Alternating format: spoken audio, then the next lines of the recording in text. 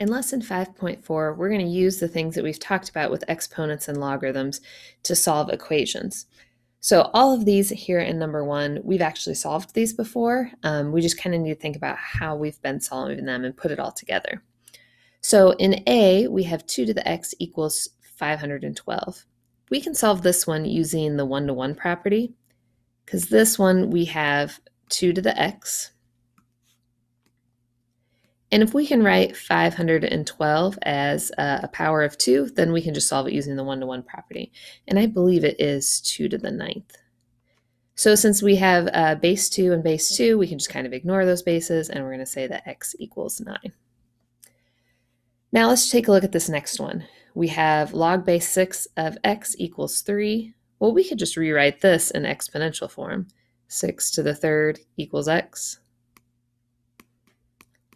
And of course, 6 to the third is 216. So that's our solution. All right, on the next one, I'm going to add the e to the x to the other side. So I get 5 equals e to the x. And then I'm going to rewrite that um, in logarithmic form. So this is log base e of 5 equals x. So just rewriting that in logarithmic form and we'll have x equals uh, whatever that is when you put it in the calculator, 1.609. And the last one, I'm going to use the one-to-one -one property again. I can rewrite 9 as 3 squared, so I have 3 squared to the x. I can write rewrite 1 third as 3 to the negative 1. So then I've got 3 to the 2x equals 3 to the negative 1. Since the bases are the same, I can kind of ignore those and just say that 2x has to equal negative 1. So x is negative 1 half. So these are all the different ways that we have solved these, or we can solve them.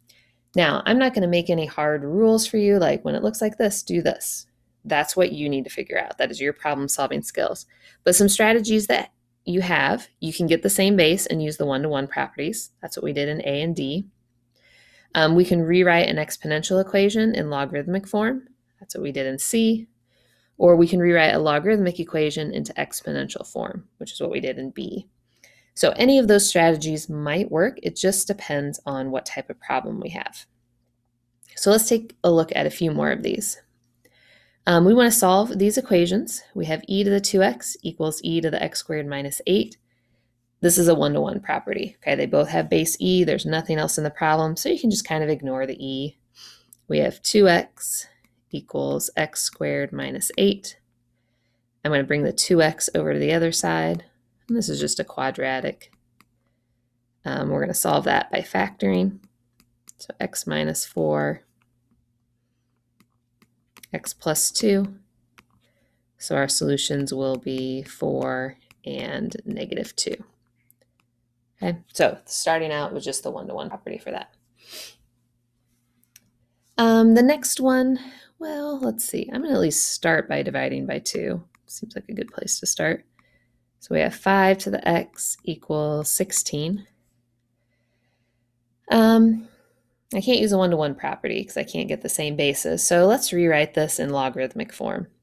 This is log base 5 of 16 equals x. Yeah, that'll work. That's the same thing as 5 to the x equals 16. Now, I can't put that in my calculator, but remember, we talked about the change of base formula, so I can use that. So we can just say x is going to be the log of 16 over the log of 5. You can also use natural log for that. And we end up with 1.723. All right, let's check out number 3. I'm going to start by adding 7 to both sides. So we have e to the x equals 30. Um, definitely can't use the one-to-one -one property here. Um, I'm in exponential form and I can't do anything with it. So let's go to logarithmic form. This is log base e, which is natural log of 30 equals x. So that's just rewriting it. Um, and then when I put that in my calculator, natural log of 30, we'll find that x equals 3.4. All right, let's do one more of these. So we want to solve this. We are supposed to round it to three decimal places, um, which tells me we'll have to use the calculator at some point. So I'm going to start out just like a normal equation. I'm going to subtract 4 from both sides. So I have 6, 2 to the t plus 5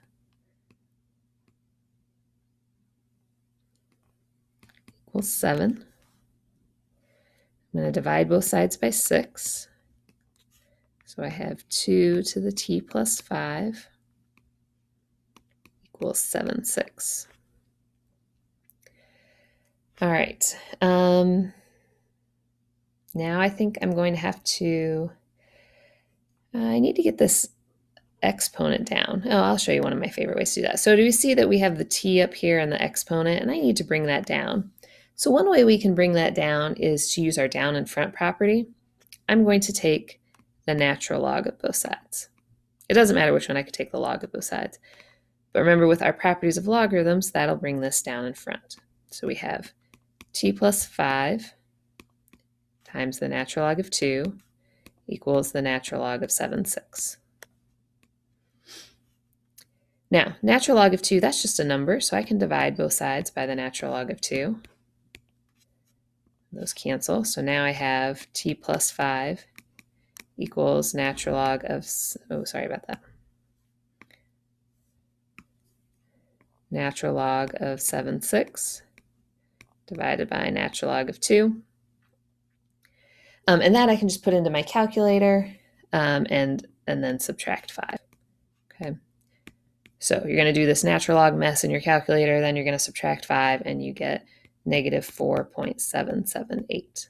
Okay, so a lot of the properties going back and forth between logarithm uh, form and logarithmic form and exponential form, um, that can help us solve, and also using that down and front property.